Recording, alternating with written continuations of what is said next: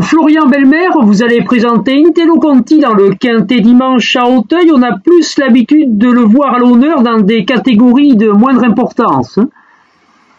Oui, bah, avec sa valeur, hein, on n'a plus trop le choix des engagements. Puis là, avec la découpe, c'est sûr qu'il aurait été mis en deuxième. Mais... Euh, Qu'est-ce que vous avez pensé de sa dernière course euh, en steeple? Bon, on l'a emmené en province pour échanger un peu les idées. Et puis, première fois la distance, et la course est bonne en elle-même. D'accord. Et quelles sont vos, vos ambitions dans cette première épreuve?